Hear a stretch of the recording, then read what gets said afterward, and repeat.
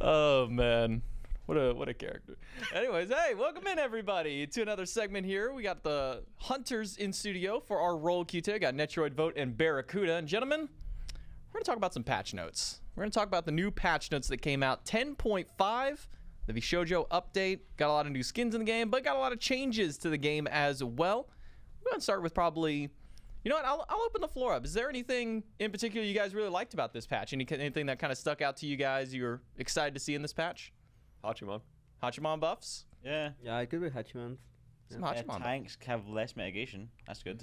True. Tanks have less mitigation. So yeah, we'll talk about those as we go through. We'll just start in uh, general changes to conquest that did happen. A little bit less on the start on the setup time now, so it's no longer almost two minutes before you actually hit zero seconds to start the game. Now drop down to 90 seconds in, s- in there. Um, another thing that actually popped up is whenever you get the the global sound cue, normally for gold furies, fires, pyros.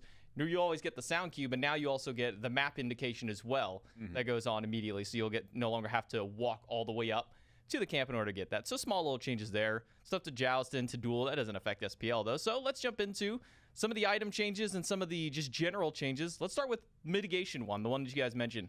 Now caps at 25%, except for if a god ability specifically takes it over 25% or certain given items like Aegis, obviously you're not going to nerf Aegis to only be a 25% damage mitigation. So as hunters, I mean, what are some of your thoughts on now having mitigation capped at that 25%? Net? Mm, I think it. I mean, it's better, of course, as a hunter because now you're just not gonna be hitting someone for like 60 or 70 sometimes, you know. So yeah, I mean, I'm happy for my role at least. So. Yeah. What about you, Vote? Tanks take more damage equals good. That's good. Barra, same Yeah, thoughts? Agreed. Yeah. Now, uh, let's talk about one item that was very meta for the hunters. Started falling out of favor and probably won't be seeing a. Give me your thoughts on now Bloodforge. It's been reverted back, costs 2,600 gold. He's got its 75 power, your lifesteal, movement speed. No longer has the attack speed on it, though. I, I, I imagine probably with those changes, not going to be seeing a hunter role anymore. No, I think you'll definitely still see it in the hunter role. Oh, yeah? Uh, I think it's pretty good to rush in certain lanes if you're going to be playing aggressively, or you want to like spike for the proc camp or like spike for purple. Um, but I think Devo is probably still going to be the more consistent option. But I think Bloodforge is definitely a viable option in ADC. Okay, so maybe still seeing the item there. Kind of same thoughts with you two on there. Maybe Yeah, for sure. maybe not every single game, but maybe kind of sprinkled in there every so often. Yeah, the movement speed still definitely feels nice for ADC. Especially is Cowl giving Yeah. movement speed? Yeah, if you're alone. Okay. Well, Mhm. thanks, but no, people in my chat were like, "Cowl's not giving movement speed." Oh, maybe I it's was- bugged. Mm. I don't know if it's bugged, but that's what I was I like. it's I was to. like, maybe I'm just stupid. and I just don't notice it right now. I was meant to. Yeah. possibly there. Um, other changes that did come through: breastplate regrowth, small nerf, costs a little bit more gold to get. None of the stats changed on there. Um, give me your thoughts, Naldo, on Cannoneer's Cuirass. It's the item. Build it, you hit a minion, it blows up the minion, you give gold to a nearby ally. As hunter players, obviously, I don't see you guys probably ever building this item because you want to get the gold yourself, not give it to someone else. But do you think this could become something maybe viable from the support role to kind of rush this early, get yourself some extra gold online fast? I think what supports do should come into lane, kill a minion, and leave. Come back for the last minion, kill it again. Yeah. Yeah, that's agree. how, Yeah. that's how you play perfectly. Yeah. Either ADC, just don't hit the minions, just like on the last hit. Yeah. Then as an ADC, you kill all but two minions, Mhm. so you get the solo farm, of course. Mhm. Then they come in last hit, so you get the procs. Yeah. I mean, that's, I think it's That's the most efficient way. Yeah, I think it's like 15 gold that you get each proc. It went from an ICD of 20 seconds it used to be before you could use it again to now 7 seconds. You can technically, if you're super efficient, get 3 procs in almost the exact same amount of time. So maybe, maybe That's see it in there. For me, that's busted. Yeah. Yeah, I think it's good. I don't know if it will like outweigh prophetic most of the time, Mhm. but maybe for like early spikes or if you want like a scaling hunter to get ahead, then you just go cannoneers. Obviously not us building it, but Right. our supports, yeah.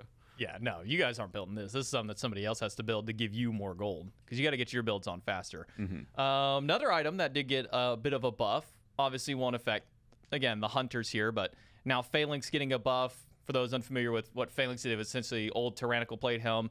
You get hit with a basic attack, and now not only your minions, but you as a player get a little bit of a buff as well. You get some attack speed. Uh, you get a little bit of protection as well. Won't be affecting you guys too much there. Eh, I think it affects us a lot. That affects us That a one is lot. so OP. Yeah. Yeah. It's 81 Viz prot for tw- 200 gold. 30% attack speed. Yeah, back in my day, we didn't have those items. I'm saying, that man. is a stat stick That and a half. that is OP. yeah. and it only gets procced when you go auto attacked. Mhm. So every time you hit a solo, Just don't hit him. Yeah, exactly. I can't wait for a Bellona to just like sit in front Oh, of yeah, me no, with a for sure, Phalanx yeah. in ranked, you know. so- Yeah, that's right. You guys would be having to fight against that all the time, so maybe not going to be too fun for you guys there. Uh, Stone of Gaia getting a little bit of a cooldown change in its uh, ICD from 20 to 15 seconds, costs a little bit less. Uh, let's talk about Spectral though, because this one does affect the hunters as far as crit. Crit was already kind of circulating out of the meta. Now Spectral has been changed, so it's now an aura crit reduction, 30% on the aura there. And then if you get hit by a crit, you get power from it as well. So do you imagine that this is maybe the, the final nail in the coffin to crit at the moment, or you think that with the changes of Spectral, maybe kind of see it sprinkled in there? I think it's a nail in the coffin. Yeah. Maybe you get a crit item last now, so you kind of like can like surprise crit somebody, Mm-hmm. but I'm not b- gonna build crit early. Like it's there's yeah, no way. it's pretty much that in my opinion. Uh, you can you can I, I think you can build build it if you're like kind of ahead from the beginning. Let's Mm. say you're just you got a first blood and stuff. Maybe you can sneak a crit there and force someone to go spectral. But apart from that, nah, that that crit is dead now. You think that now that it's changed to an aura, because it used to be like just you personally, you would get the reduced crit, allies around would get a little bit of extra, but Then do you think that, aura that is this is now because it's aura, we still see multiple spectrals build, or is this still just a as long as one I think person it's gets just it, they're like fine? Solar gets there, you just dive for the jungler, jungler takes no damage. Mm. Yep. With Protector as well. They are t- Only Protector's, 250 prots. You know? So yeah. Yeah, Protector is a bit crazy. Um, let's talk about for a moment uh, a shift in War Flag. Now, War Flag something we've like I don't think ever seen at SPL level. Maybe like one time in, in some of the uh, the games that quote unquote don't matter near end of season or end of phase. Um, item now provides gold per enemy, minion, and jungle monster assist rather than requiring the lowest gold. So now instead of you have to have lowest gold on your team, it's just you get the you get the gold and, and whatnot for it. Any chance that you think we ever see a war flag pop up for a support? Do you think this item pretty much stays out of the conquest area? I think it stays out. Uh, I think the other support items are just better. Uh, maybe you'll see it with like maybe like a Horus lane or something like super aggressive. People go War Flag and try to run it down, but I still think the other support items are just better. yeah, I think Passion's too good, Sentinel's too good. Yeah, I mean you you, you look at the heroism late game with the benevolence, and then you, Yeah. there's no way you're building Yeah. Yeah. flag. War flag is super fun in the non-conquest modes because you build Yeah. that and talisman of Yeah, energy. yeah. You just get a double proc. It just keep running it down. A lot of fun there. Um, one god that maybe we'll be seeing a little bit less of now, maybe hunters and people can rejoice in general. Hel gets a little bit of a nerf, a little slap on the wrist. Takes a little bit, pretty much just less healing in general. Not a ton of healing taken off, but a little bit less through. Uh, I believe it was about 10 per level on the one uh, or 10 base, and then the per level scaled down as well. So I think at max end, it's like minus 30 healing at the very top, and then for her heal as well, getting a little bit less per level and a little bit less ally heal. I Think we're still going to be seeing Hel though, just from Yep. the utility Yep. and healing. Yep. yeah, all right, all right. And then That another one, Quite the god to lane against right now. That is Yeah. just an experience. and then actually speaking about uh, laning against her, now her healing on minions has been halved. Oh boy. So she only does half healing to minions. That but- shit shouldn't heal minions. from the- so it, it shouldn't. So relevant. It shouldn't heal minions from the beginning, but uh, yeah. Man, I like how we all the same experience. Yeah, when they brought the the Sylvanus Wisp heal, I was like, wow, that's. It's That's been a while since irrelevant. we've seen that, but it only heals from like 25% or something like that. I think it got buffed up to like 35. But uh, another one that feels like it probably won't do too much to him necessarily. Hercules got a little bit of a nerf. His one and two both e- taking an extra second now, 11, 11 to 12. Still imagine we'll probably be seeing this guy run Menace in the Soul I lane. mean, as long as his one does like 380 base damage and his ult does 800 base damage, I think the god would just be Yeah. good. yeah, it's pretty good, surprisingly. Yeah. Yeah, the amount of low cooldowns. Uh, God that did get a cooldown nerf, and in my opinion, deservedly so. Horus, his dash, which was originally 16 seconds, then got buffed up to 10 seconds, has now been nerfed to the halfway point of 13 seconds. But even removing a, a few seconds off the heal, imagine we're probably gonna be seeing this, seeing this guy in the support role. Probably. Yeah, he'll be fine. Yeah. Was above like let's have some fun watching Horus have a like 10 seconds. Yeah. Oh my Was God. Was Yeah, it you- for fun or? Yeah, you, yeah, you you build 30% CDR, you get you get the warrior passive, you get a six second dash That across was the map just so to heal. messed up, yeah. But it, it was funny to see, you know. Oh, go Horus, and then he just dash away. Oh, Mm-hmm. and then he just comes back and dash away again. Like, it's not. Was not fun. It's like watching a Bakasura walk through the jungle and every camp he's just eating a minion from it just because it's like Yeah. a ridiculously low cooldown. So probably be seeing more Horus. Let's talk about another one. Vamana gets a little bit of a nerf, one extra second on his dash. Not the biggest thing there. Um, 15 power knocked off of his ultimate, as well as a portion of his HP given to him as a shield. It's now 0.75% of his max HP as a shield, and now has a cap of 1,000. You think this does too much to Vamana? I think you think that we're still going to be seeing him? I think it's not enough. Not enough. Yeah, it's not enough. He's just like he's just immortal, like from early to maybe late game as well. Uh, if he gets a good engage with his ult, he's just gonna kill you. And it feels like he's critting every auto, every, even though he doesn't Yep. even have crit. So And Phalanx. yeah, Oh, and then and fail. Phalanx. The Like way you kill that god is, or maybe not kill him, just make him not go through walls in his ult. That's the only change I had to make, I think. Bring back, uh, bring back the. Maybe Uh, some like counterplay yeah. in drafts. 'Cause Right now, it's just nothing you can do. Yeah. Okay, okay. So probably still be seeing Vamana. One guy we haven't seen very much of as of recent. I don't know if this buff necessarily brings her back. Da Ji does get a little bit of cooldown reduction on her dash. No longer is 17 flat, now goes 17 to 15. Don't know if that's enough to bring her back necessarily. But as the hunters, let's talk about the hunter that did get a pretty decent buff in his own regard. Hachiman now joins the fray. Not only does he get MP5 with his passive, also gets attack speed. Scales up to a maximum of 20% at level 20 and at max stack when you have it through. Eagle Eye, his first ability, now gets additional power. Was originally 10 scaling to 30 plus 110%. Now, oh, it scrolled away. Goes 20 scaling to 60, so it's effectively been doubled as its bonus damage, and now 120% of your basic attack damage. And Heavenly Banner also getting 10 extra power at all ranks for wave clear. Hachiman, uh, do you think maybe top three hunter, kind of joining the ranks of like CERN, Rom, uh, and maybe Izanami, or do you think that he just kind of comfortably moves himself up in the bo- in the banks? a I little think it definitely jumps up a lot. Yeah, his one does sure. his one does so much damage now. It's actually crazy. It's very surprising Yeah. when you get one and you're Yeah. like, Yeah. oh, I'm dead. Oh, Yeah. cool. What are your thoughts, Ned? Uh, I mean, it's kind of big because I, I remember I was like hitting someone at level 4. I was hitting for like 50, 60, just normal damage. And then I just pop my 1 and it's almost 100. Like, so Yeah. that's uh, like really, it changes like the 1v1 as well. Like, you're like, oh, I'm winning this. And then he just like autos double the damage. And it's Yeah. just like, Yeah, it really feels like it gives him an insane amount of boxing. Do you think that getting the extra attack speed maybe changes up his build, or do you think that it still just kind of runs the standard hunter build throughout? I've been seeing what like Xe, Kins, Odysseus bow, dominance, those kind of things. Yeah. You think that getting the extra attack speed in his kit plus having the banner attack speed maybe changes the build at all? I don't think so. I don't think so, yeah. No. really, no. I mean, I'm going a different build than other people, so Bear's just doing bear things. yeah. I know well, your I'm- build. Scream build. Scream build. Scream build. I He can't Typed a lot of math, I and I, can't was make like, it no, don't do it. The scream build. That I, can be good, I, man. I've tuned into a couple of a, a couple of scream streams, and uh, let me tell you that that man is cooking up something every single he time that stays stream in the tunes. kitchen. He stays burning. He lives. The, he, he moved his bed into the kitchen at this point. He is living in the kitchen. Uh, Jormungandr. Haven't seen Yorm in quite some time out of the solo lane, and now some changes to him.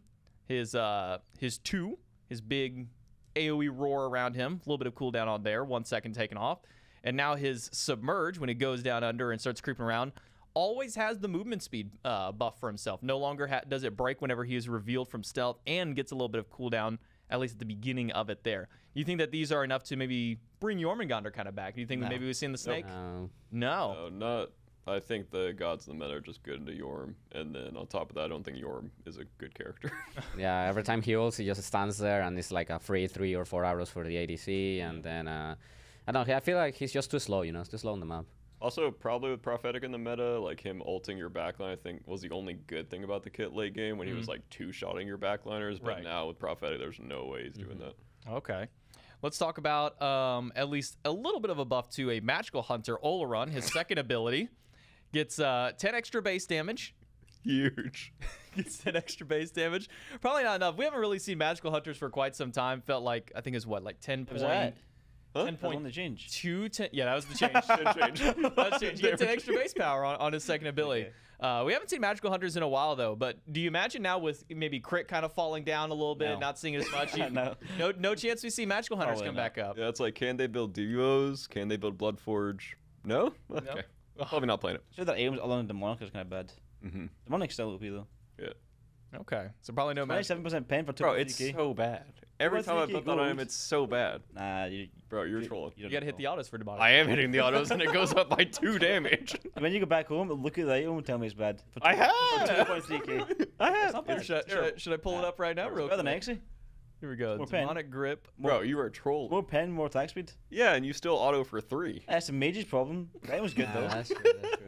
Here you go. It's, It's, a uh, clash problem. All right, I'll concede it's the mage problem, but the Yeah. item might be okay. yeah. look, every time I built it, I'm like, Look, it's 75 power, 30% attack speed, and you That's be- reduce magical protections by 9%. Yeah. if Cyclopean was a magical kin size and was actually a good item, then demonic would be a good item. Okay. Okay. It's a clash problem. So what we're, so what we're hearing is buff Cyclopean, and then Yeah, yeah, Demonic yeah. will be up there with it, maybe. That Yeah, what actually? that- It will. It will Yeah, be good. I Every think. time I build Cyclopean, I'm like, this item should be good, and then I'm like, this item is terrible. Yep. It will make hunter, uh, magical hunters viable at least because I don't. I wouldn't. I wouldn't say it will be every single game a magical hunter, but at least it will be viable. You know. Brings a little bit of variety to it, maybe. Uh, let's talk about uh, soul enders that maybe potentially be coming back now that Phalanx has been buffed. Talk about not wanting to attack any kind of auto attack based warrior. Uh, Osiris popping up gets a little bit more HP 5, a little bit more base Fizz prot, and his flail dealing a little bit more damage, only about 10. Maybe seeing him pop up, maybe with the Phalanx buff changes.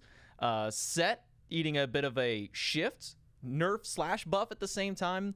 Uh, whenever you cast your Sandstorm, uh, some changes around there. I did get a cooldown reduction in it, uh, but based on whenever you use the clone, the actual teleport, or if you just use it for duration, will determine if it's actually a buff or a shift there. Soul gets two seconds off of her heal. Big there. Wow. I figure probably not too much in that one at least. Dead Sun Wukong, he gets a little bit of extra power, not a huge one there. Let's talk about maybe the big elephant in the room, or I should say maybe the guy with the biggest sword in the game, Tyr. Now his ultimate gonna have Outrageous. gonna have a stun or more damage depending on which stance you are in. We expecting Tyr to pop himself right back up to the top of the meta. I think it's the biggest circle in the game, and it just stuns you Mhm. on a god that forced his beads already. mm-hmm. Yep. It's such a weird feeling now as a backliner, like trying to decide what to beads against that character. Because like you just get stunned out of nowhere. It's like, okay, do I just beads this? Do I wait for him to fearless me, or do I just like stay here and just decide like? If you don't to beat stay the for a stun, second? he just blue stands knocks you up anyway. Yeah. So yeah, maybe be seeing some more Tyr. I mean, I think And you I'll- can react to it if he's like in front of you. You can you can tell what stance he's in. But if it's over a wall, you're cooked. Yeah. Yeah, it's it's just gonna hit no matter what at that point. And also to note with that, not only is it the one second stun, he also still retains the three second slow that comes with being hit by it. So you're Oh, that's cool. stunned and Oh, you're that's also cool. stunned. I didn't know that. fun, I actually didn't yeah. know Wow. that. yeah, I, uh, yeah, I, I talked with Agro and Lermy about it after after the patch notes. We did the dev insight, and they said that the slow does still hold on there, so he's not losing the slow for the, either the one second stun or the base damage increase. It is just he gets those as additional benefits That's there. fun. So Is that offense stance buff, by the way, just for the achievement in the game? Because I've thought about that. I'm like, that's literally an impossible achievement. oh yeah, Which you, one? You, You have, have to, to- kill 15 gods in a single match with your ultimate. Oh. I can push you, bro. I that might be the hardest achievement in the game. That might be the one with the lowest actual Yeah. count. Maybe it was. You Maybe just go maybe full they're trying- damage arena and you'll get you know. Yeah. But still, Especially you gotta doing get- 25% more damage now. thing is you gotta get 15 individual that's- kills Yeah, but you just go over full the course damage and just fill in one guy. So, any final thoughts on the on the new patch coming up for this next week of the SPL? I'll Probably see, be seeing some changes. I imagine Tyr pops through the Hachiman. Any kind of final thoughts on the patch moving forward for this week? Overall, good, and obviously, I think the Tyr buff affects all three of us the most. Mhm. A scary character. Yeah. Yeah. Playmaking character though. Definitely gonna be seeing maybe some highlight reel plays popping up with there. But gentlemen, thanks for coming by for the patch notes review. But make sure that you at home are sticking around because we got plenty more to be going through. We got all kinds of great stuff hanging out here with our pros for our roll check. And so make sure you stick around, and we'll be back in just a little bit with our next segment.